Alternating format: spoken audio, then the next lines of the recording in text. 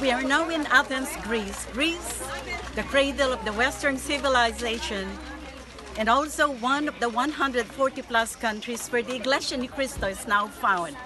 We can see the members of the Iglesia Ni Cristo here on the background as they are getting ready to join the worldwide walk to fight poverty of the Iglesia Ni Cristo.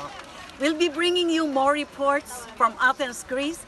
Marilu Francisco, EBC correspondent in Europe.